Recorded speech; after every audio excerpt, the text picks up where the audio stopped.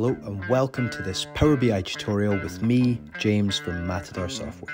Today we're looking at running totals, creating these with DAX, and we have quite a real world use case because often in a proprietary system that you would sort of model your business intelligence around, you would have a date and new daily users, maybe not at this level of sort of um, granularity, but this is what we've got here. So we can see that each day we have a count of new daily users and we're going to use a running total to sort of sum these up. So let's actually look at what a running or cumulative total is. So these are used to display the total sum of data as it grows with time. So in our case, we want to continuously add the daily registered users to the rows that came before. So you'll see 36 plus 5 is 41, 41 plus 8 new users is 49 on the 3rd of January, and so on.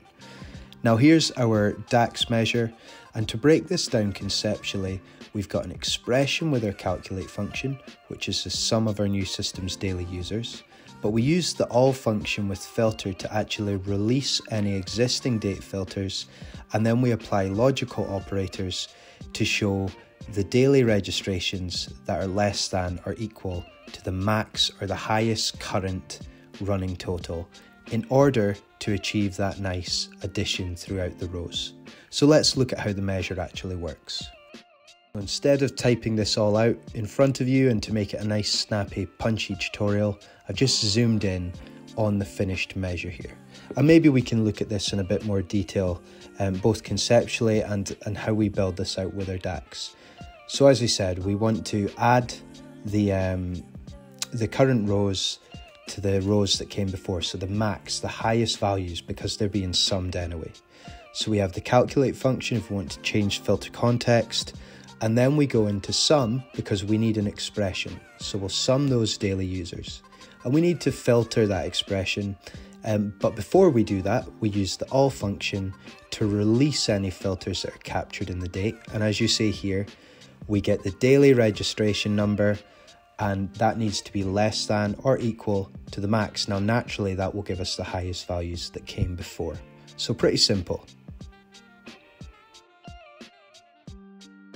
And now we can check this out by just simply dragging in the running total measure into our table that we have here, and you'll see it works as expected.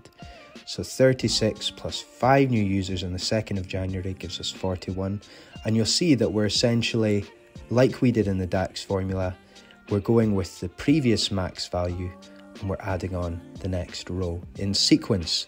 So we can easily fact check this. You see at the end of our running total, we have 343. So you would expect that our the sum of our new daily users should be 343.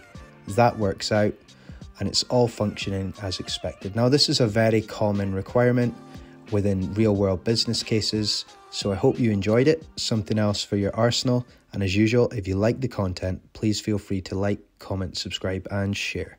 Thank you.